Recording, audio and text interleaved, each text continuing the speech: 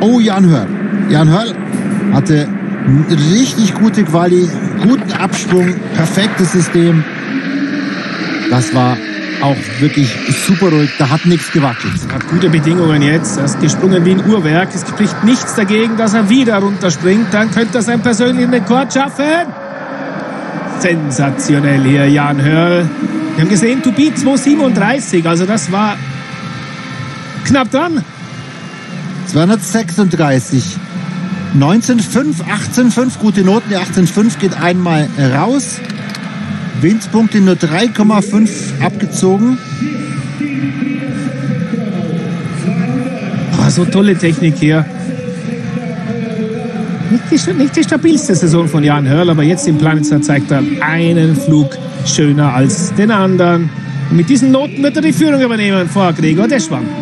Um 3,9 Punkte. Ja, auch er, wirklich. Am Ende nochmal aufgedreht. Jan Hörl, Führung für den Österreicher nach dieser durchwachsenen Saison. Eine Wohltat.